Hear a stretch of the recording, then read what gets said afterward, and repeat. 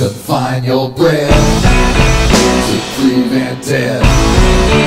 Don't be an ass.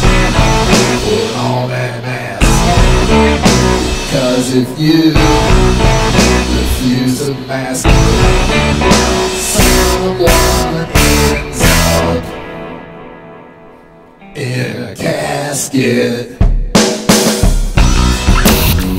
A vaccine is not expected to be available until the end of the year. More than three and a half million Americans have been infected with coronavirus. The number of coronavirus cases continues to fall with no index. Hospitals in the area report a shortage of ICU beds due to coronavirus. Availability of a vaccine is still several months away. Because if you refuse to mask someone ends up in a casket.